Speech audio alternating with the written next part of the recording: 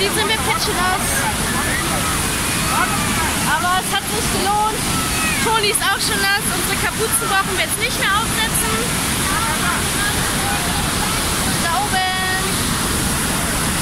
Ich hoffe, mein Handy funktioniert nachher noch. Es ist ein bisschen nass.